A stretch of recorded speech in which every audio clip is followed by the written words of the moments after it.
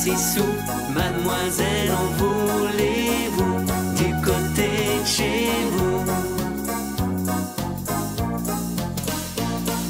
J'ai des pommes à vendre, des rouges et des blanches. À quatre sous, à six sous, mademoiselle, en voulez-vous du côté de chez vous?